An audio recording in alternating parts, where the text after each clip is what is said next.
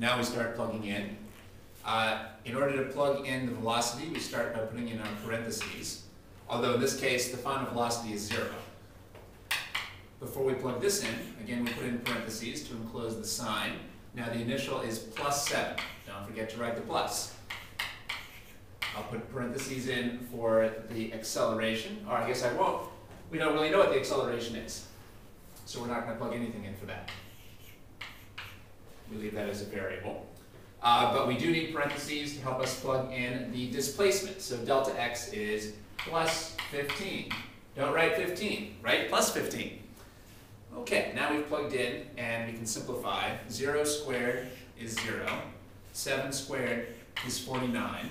After we've plugged in, we don't have to keep writing, writing the signs down. 2 times 15 is 30. All right, now we have to continue in our quest to isolate the acceleration. What do we need to do to get the acceleration by itself? Well, we need to get rid of the 49 and we need to get rid of the 30. Um, which should we get rid of first, the 49 or the 30? Um, I hope it's clear to you that it's the 49, um, but why can't we just get rid of the 30? Well, to get rid of the 30, we'd have to divide, because the 30 is being multiplied. But if we divide everything by 30, we just get a mess. Um, because if we divide everything by 30, um, we could get rid of this 30, but then we're going to end up with 49 thirtieths. Who wants a, uh, a weird fraction like 49 thirtieths? Um, so I hope it's clear to you that this is the wrong way to proceed. We should not try to get rid of the 30. So what I've written down right now is wrong. This is not a good way. Instead, let's show the right way. Instead, let's get rid of the 49 first. Now, remember, um, we have to do the opposite. Well, the 49 here is being added. Maybe it would actually help to put the sign here. You can see the 49 is being added to the right-hand side. So to get rid of it, we have to subtract it from both sides.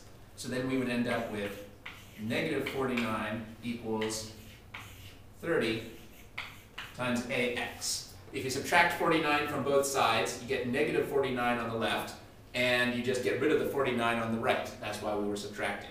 Now we can get rid of the 30. How do we get rid of the 30? Remember, do the opposite. The 30 is being multiplied times the variable. So we need to divide. And you can see that'll get rid of the 30. and the acceleration will be negative 49 divided by 30. We can use our calculator to make that into a decimal.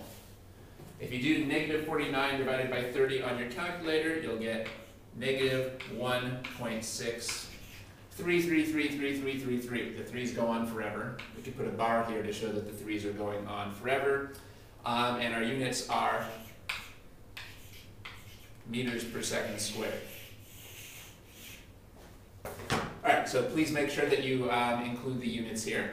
Um, now, of course, obviously here I'm not rounding off based on significant figures. So it's actually kind of silly to say this is 33333 because there's no way we can be so precise. On your calculator, you're going to get 1.6333, uh, and then you'd have to round that off. Uh, you might use significant figures to round that off, but as I've said, we're not covering that in these videos. This is what you get on the calculator.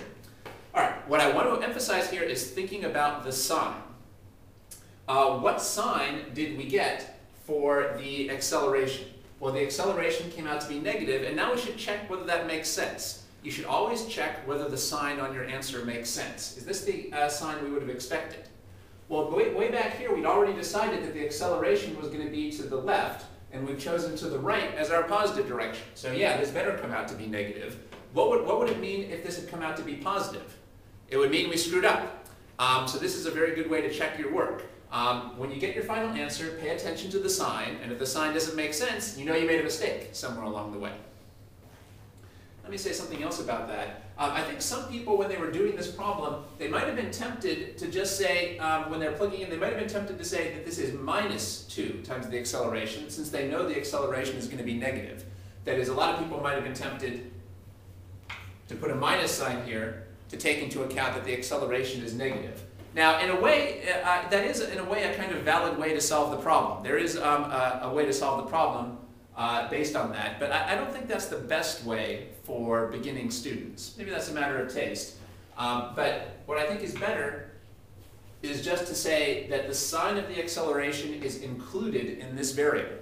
This variable includes its own sign, so there's no need to put another negative sign out here because the variable itself will either come out to be positive or negative. So what I mean by that is um, we put a plus sign here, and then this variable came out to be negative, and that confirmed what we knew all along, which is that the acceleration was to the left. The acceleration was negative. What would happen if you put this negative sign in here and then solved the problem? Well, then the, the variable a would come out to be positive.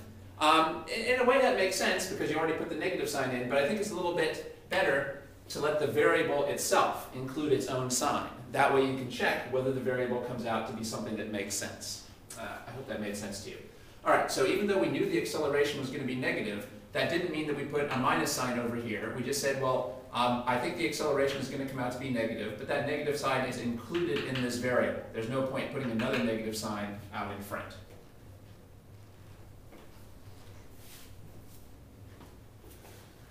What are the lessons from this problem? One key lesson is that when you're told that something is reversing direction, there's hidden information there.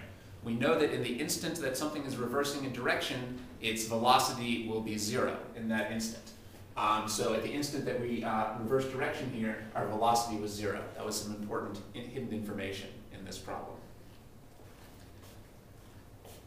As usual, uh, I would recommend that um, if you feel that anything in this problem gave you difficulty or you learned something before you go on, just try to redo the problem and then go on.